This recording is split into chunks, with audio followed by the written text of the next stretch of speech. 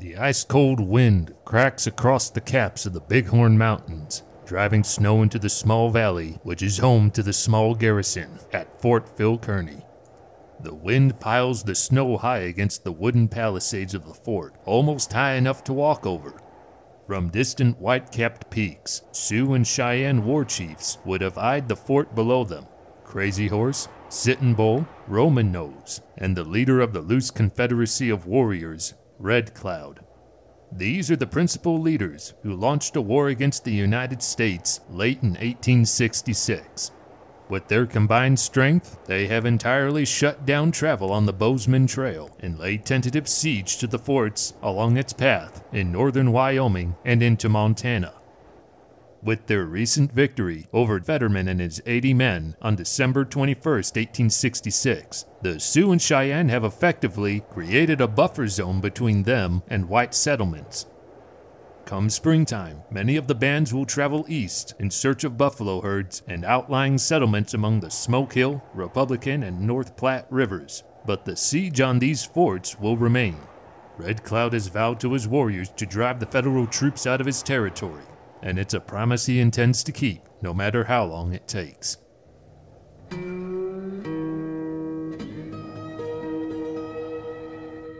The Fetterman disaster shocked and outraged the Army. Sherman telegraphed Grant, We must act with vindictive earnestness against the Sioux, even to their extermination, men, women, and children. At the frontier posts, attitudes hardened into undiscriminating hostility towards all Indians, their newspapers called for extermination of the Indians. Some even scored the army for timidity. Railroad and stagecoach interests reinforced Sherman's aggressive designs. Military contractors and freighters joined in the clamor, although Army officers recognized their motives as hardly being disinterested. Abandoned for the last five years on the frontier, these settlers suffered the unrelenting warfare of the native tribes. Unhindered by the withdrawn federal troops, the Indians resumed their genocidal raids against their enemies, both American and Indian. Now, with the war between the states ended, the U.S. military appeared impotent in its first few attempts to subdue the warring tribes. The Sand Creek Massacre had dramatized the Indian problem to the nation's humanitarian community, mobilizing religious and reform groups and stirring abolitionists in search of a new cause. Members of the East Coast mercantile class, far from the realities of the frontier, used Sand Creek as the linchpin on which to hang the expensive war it ignited on the plains, and gave rise to a peace policy that flowered in the profusion of treaties concluded in the autumn of 1865. Even after the Fetterman disaster, the spirit of conciliation glowed warmly in the Washington offices and Eastern parlors, an influential body of opinion held that negotiations in good faith offered a surer means than naked force of bringing peace to the West.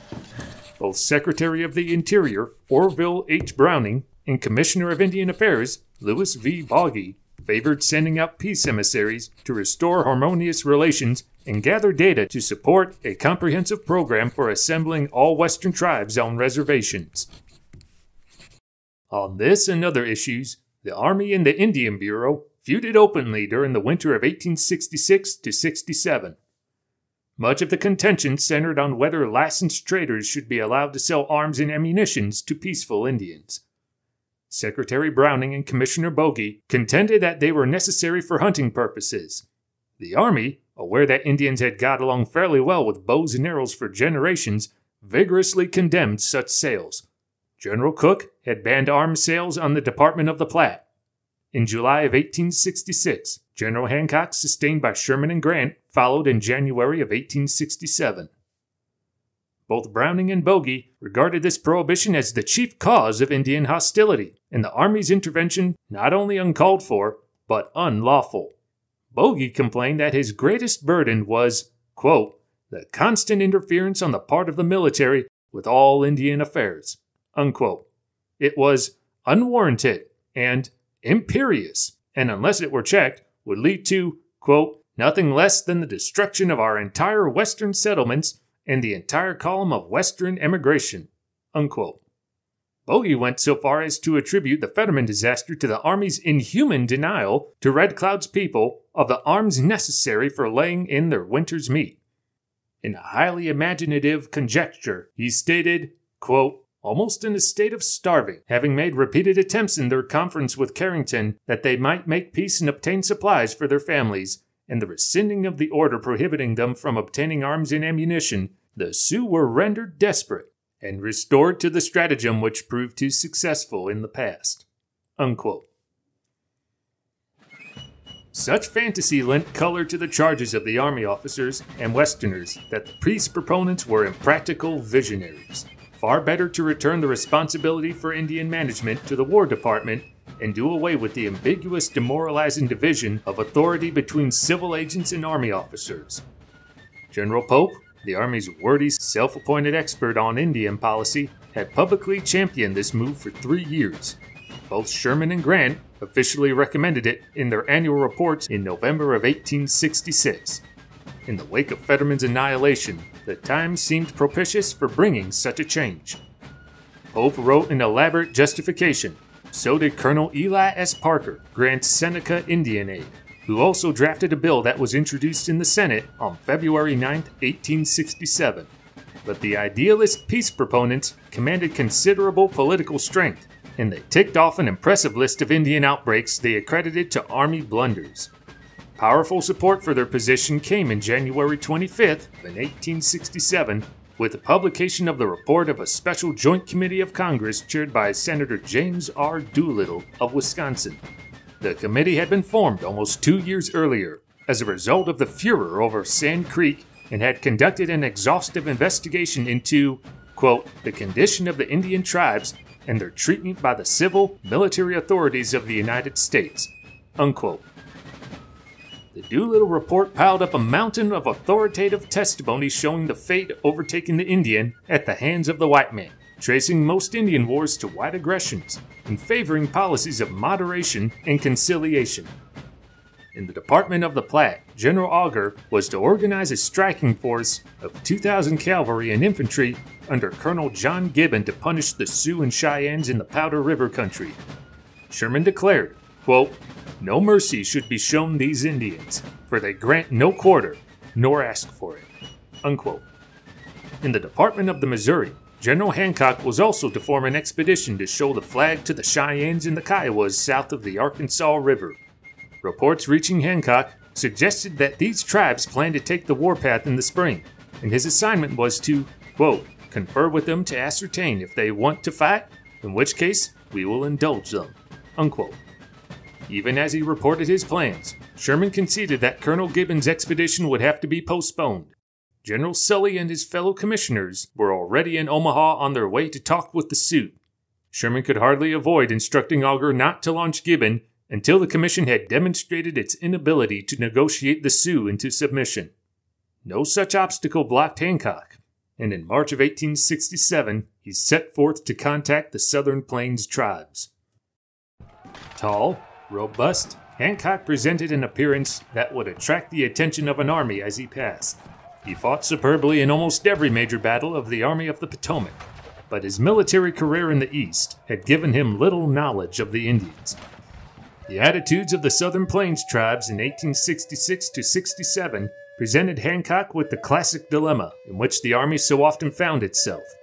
The principal leaders of the Cheyennes, Arapahoes, Kiowas, and Comanches wanted to avoid trouble with the settlers, even if it meant abandoning some of their historic haunts.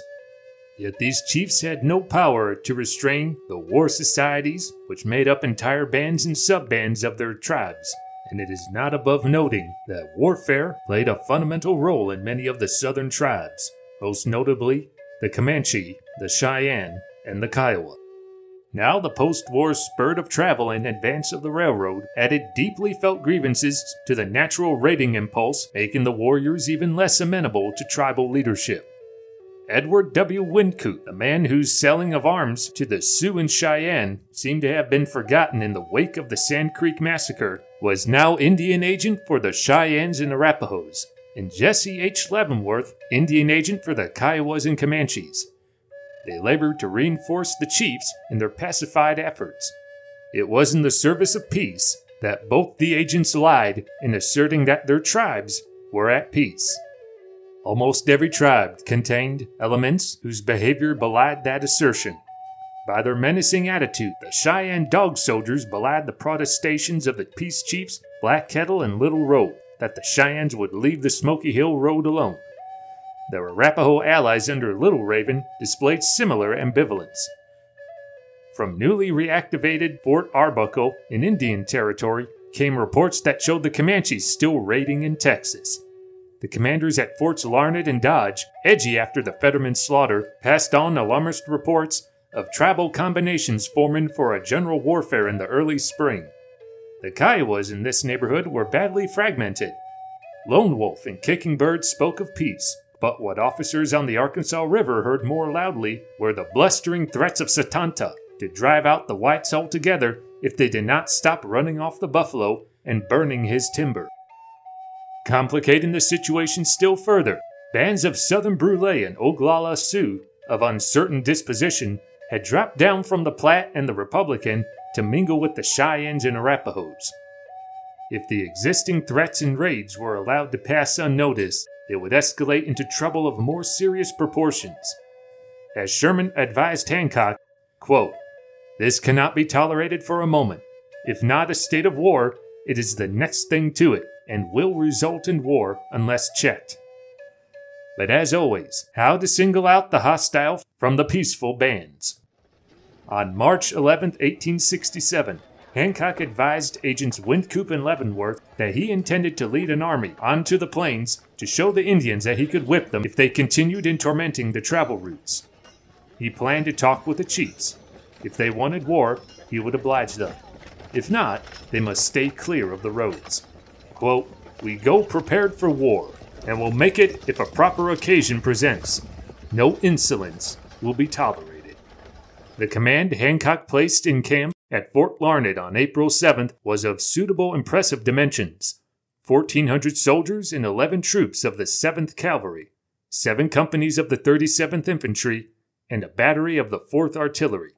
The colonel of the 7th was Brevet Major General Andrew Jackson Smith, a blunt, irascible old dragoon of almost 30 years' service.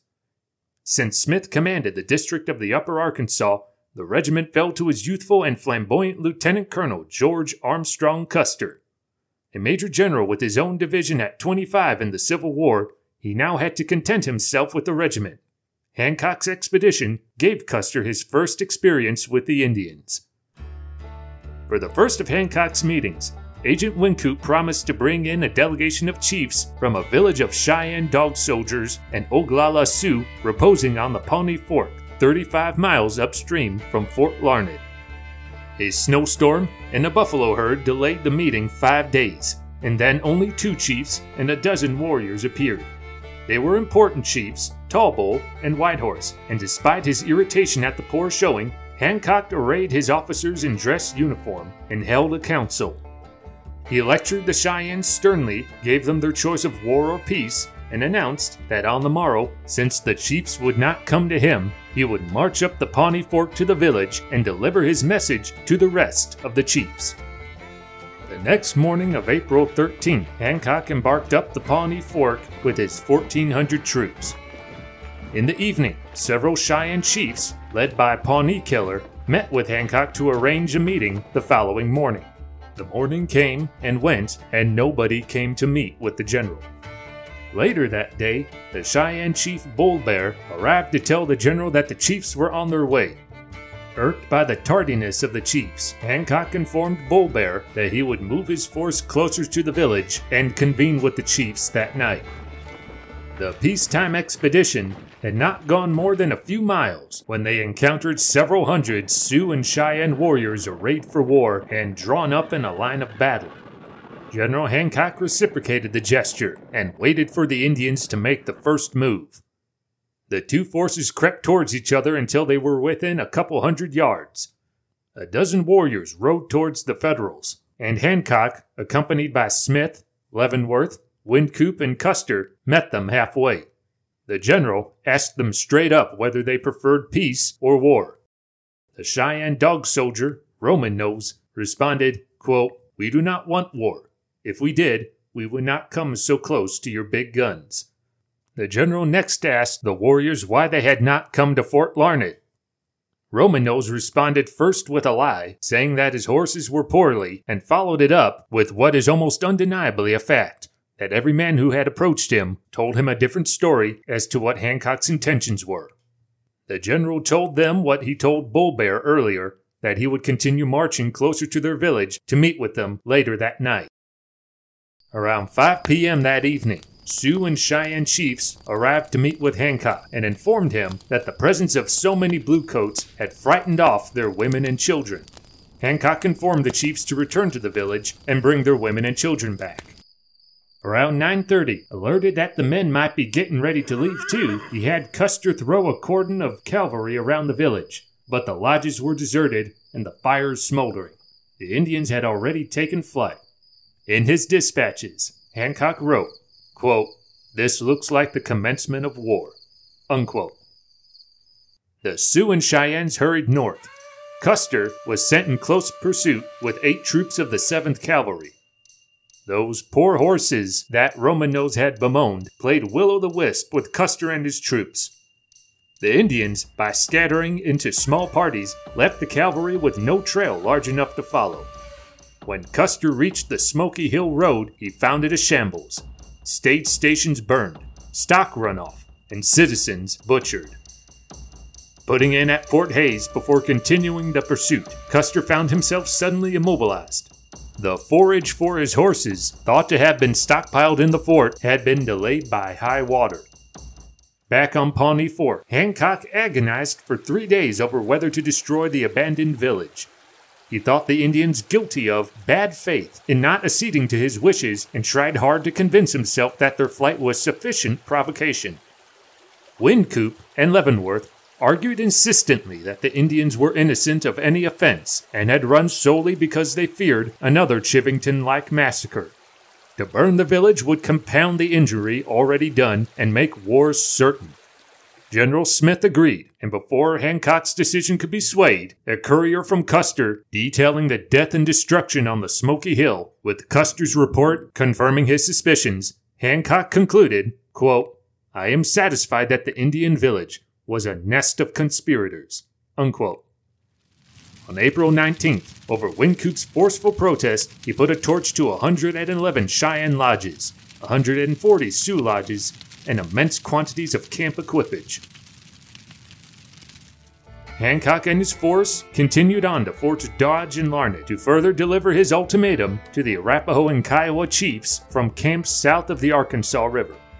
Satanta, the unpredictable Kiowa war leader, seemed so sincerely devoted to peace that Hancock presented him with a major general's dress uniform.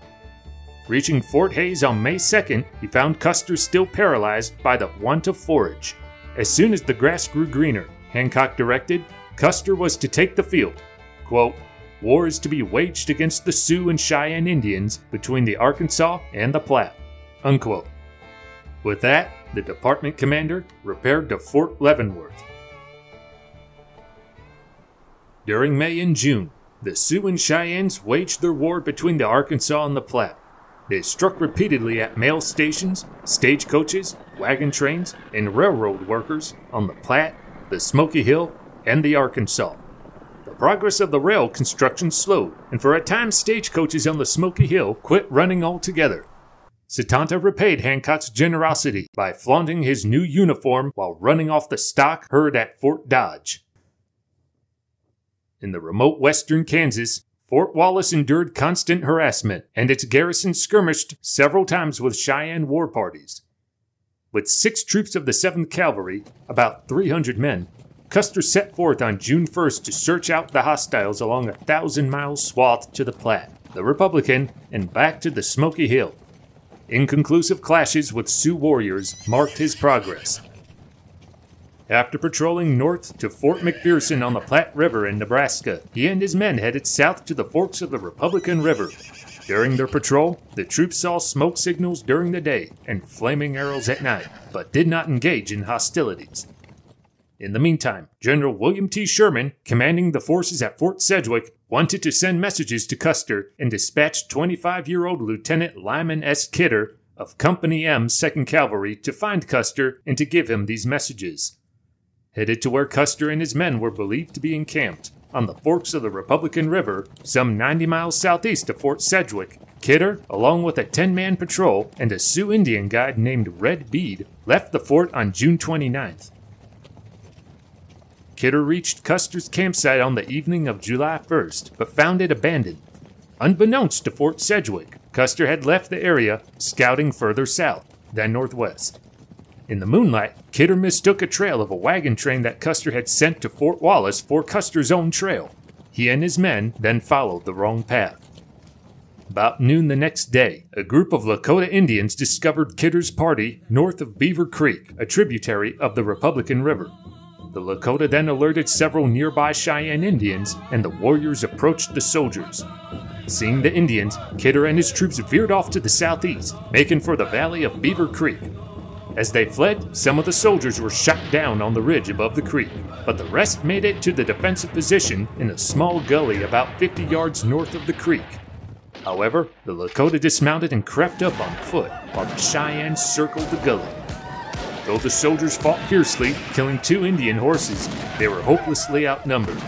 Kidder and all his men and the Lakota scout were killed, some having been taken alive and tortured before their deaths, and their bodies mutilated and burned. Two Lakota were also slain in the foray, including Chief Yellow Horse. In the meantime, Custer, having received no word from General Sherman, began to move his troops towards Fort Sedgwick.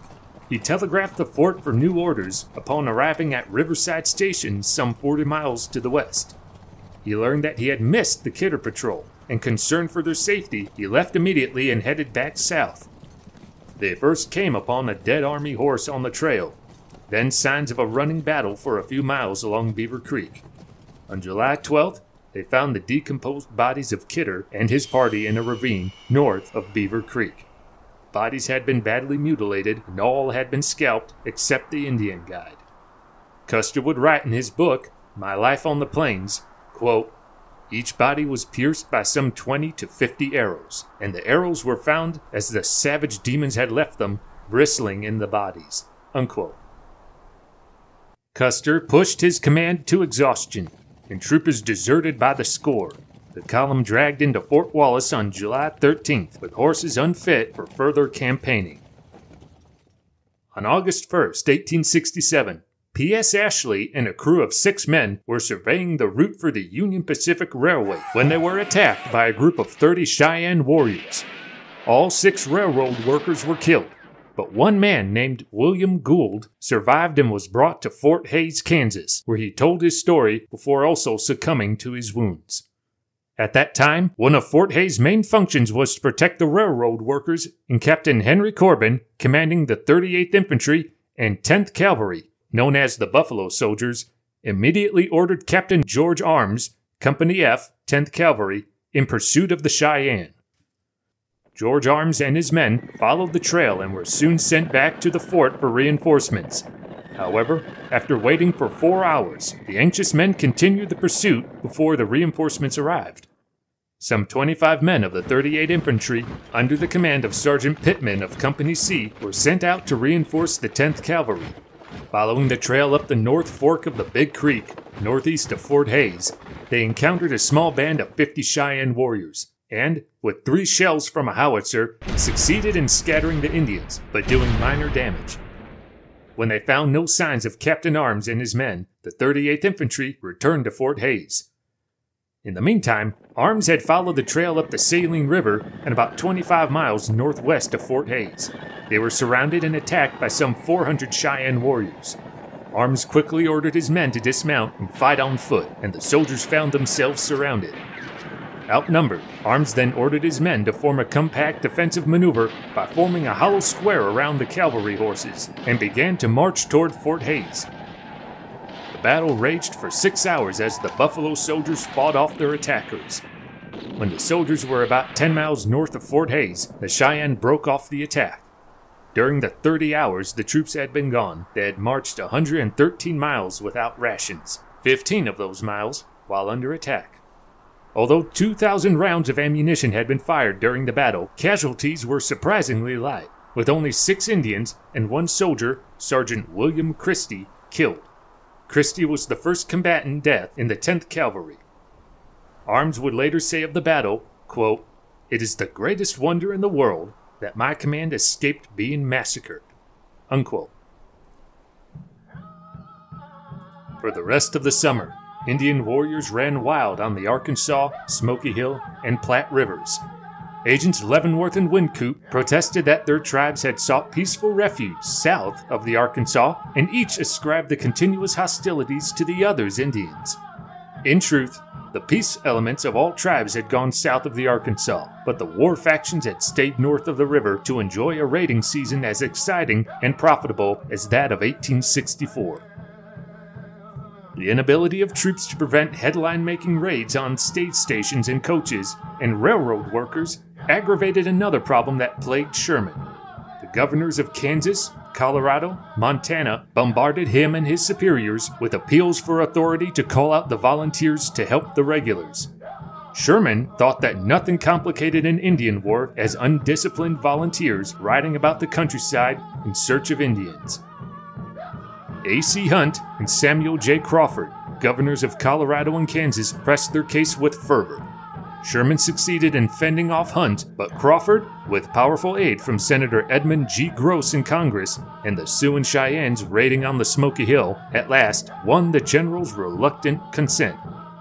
In mid July, the 18th Kansas Volunteer Cavalry, a 353 man battalion, was mustered into federal service. It performed credible work in helping the regulars patrol the travel routes, and on August 22nd through 23rd, two troops participated with a troop of the 10th Cavalry in a major action on Beaver Creek with several hundred Sioux and Cheyennes. On August 20th, 1867, the 18th Kansas Volunteer Cavalry left Fort Hays for the headwaters of the Solomon and Republican Rivers, on the evening of the 21st, Captain George B. Jenness of Company C was sent out with a detachment to ascertain the cause of a light seen at some distance across the prairie. He found the remains of an old Indian campfire, but when he attempted to return to his regiment, he became confused in the darkness and finally decided to camp on the open prairie. Early the next morning, he reached the river about eight miles below the soldiers' camp. Upon reaching the river, he pushed on towards the troops, but after going about three miles, his detachment was attacked by a large body of Kiowa and southern Comanche Indians. Forming a hollow square, which had proved so effective during the Battle of the Saline River earlier that month, he managed to hold the warriors at bay.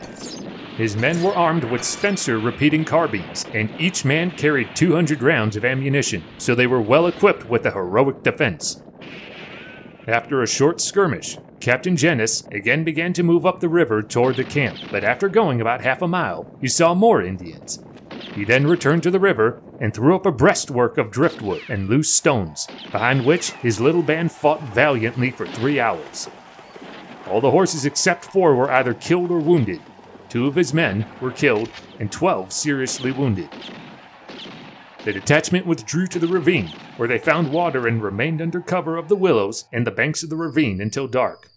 The Indians then drew off, and Jenness and his men, under the guidance of a scout, followed a buffalo path for five miles until they came to the river. The Indians renewed the attack the next morning, but the main command came to Jenness's rescue. Except for his initiative and Custer's abortive expedition, Hancock's forces spent the summer in a strictly defensive duty. For Kansas, Colorado, and Indian Territory, Hancock counted the equivalent of two and one half regiments of infantry, elements of the 3rd, 6th, 37th, and 38th, plus the 7th and 10th Cavalry, the last not yet fully organized. Little more than 4,000 officers and men held 18 forts and camps and guarded more than 1,500 miles of major travel arteries, all the regiments struggled under a heavy burden of untrained recruits, and to make matters worse, all were continuously decimated that summer by desertion and cholera, both of epidemic proportions. Not surprisingly, they failed to secure every target the hostiles might elect to hit. On August 26, 1867, General Winfield S. Hancock was transferred by order of President Andrew Johnson to replace General Philip Sheridan as commander of the 5th Military District encompassing Louisiana and Texas. General Philip Sheridan was a Union war hero, the North's greatest cavalryman, but as an administrator, an absolute failure. Just as Hancock would replace Sheridan as commander of the 5th Military District, so Sheridan would replace Hancock in the Department of Missouri. Major General Philip Henry Sheridan lacked the gentlemanly polish of Hancock. A short, stout Irishman with piercing eyes and a black mustache, 36 and a bachelor, he combined pugnacity in official intercourse with reserve in all but intimate social intercourse. In the latter, he would be witty and fun loving. An English nobleman, the Earl of Dunraven, found him, quote, a delightful man with one peculiarity of using the most astounding swear words quite calmly and dispassionately in ordinary conversation. Unquote. Scarcely less revered by his troops than Sherman, Little Phil was a brilliant combat leader, attentive to the wants of his men, and in a fight, always on the front. He gloried in a Civil War record that left him excelled in popular affection only by Grant and Sherman. Alert, observant, and energetic, he owed his repeated battlefield triumphs to audacity coupled with a perfect indifference as to how many of his men were killed. He identified the objective and went for it by the most direct means, and without much respect for the conventions of civilized warfare. With Sherman, he subscribed to the doctrine of total war, of subjecting a whole enemy's population to the horrors of war and thereby undermining the will to resist.